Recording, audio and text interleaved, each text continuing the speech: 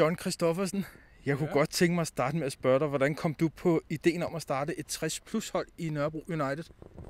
Jeg, øh, jeg læste en notits om, at, at man ville starte et øh, drengehold for de helt små drenge.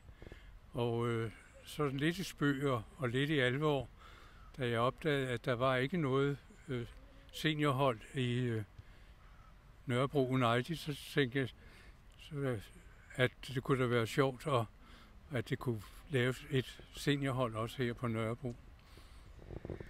Kan du fortælle om, hvor og hvornår I spiller? Altså, vi spiller hver mandag øh, kl. 13 her i Mimersparken og har gode adgangsforhold både til omklædning og bad og, og øh, alle de redskaber, der skal til for at træne. Hvad kræver det at blive en del af holdet?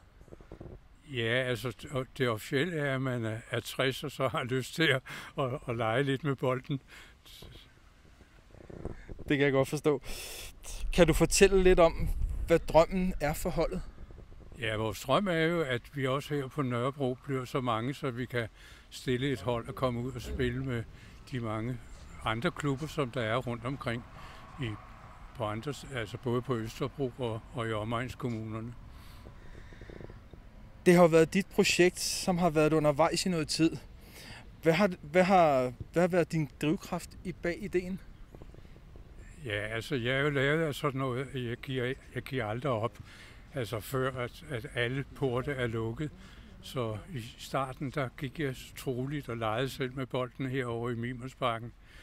Med, og så blev vi med at oplyse om, at muligheden var til stede for, at man øh, kunne komme og være, være med. Og nu er vi jo så op på ni medlemmer.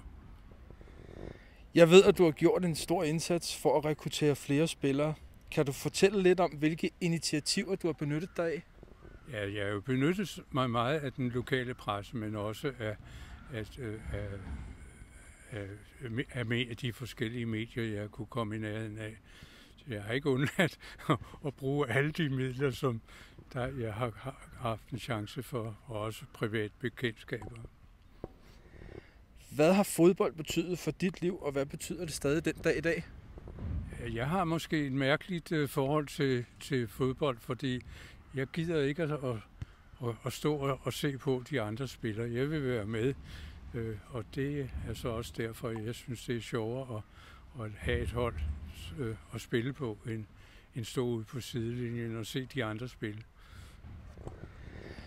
Du er jo, du er jo blevet alderspræsident i klubben på grund af din høje alder. Med al respekt og størst ydmyghed må vi så spørge, hvor gammel du er. Ja, jeg fyldte jo 80 her den øh, 2. august, og jeg føler mig stadigvæk som en 14-15-årig, men det, det, er, det, det holder nok ikke helt stik, men øh, hvis vi, og tillykke med de 80 år her forleden.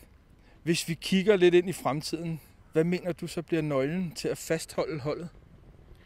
ja, jeg tror, at, at øh, altså, vi bliver flere og flere, og det bliver sjovere og sjovere at, at være sammen. Også nogle kammeratskaber, man, man bygger op, og øh, det skal nok holde i fremtiden, at der er flere og flere, der vil være med til at, at lege sig, de har placeret de 60 eller 70, 80 og måske 100.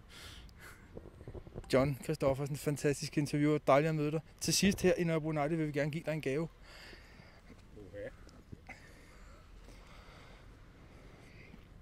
Værsgo.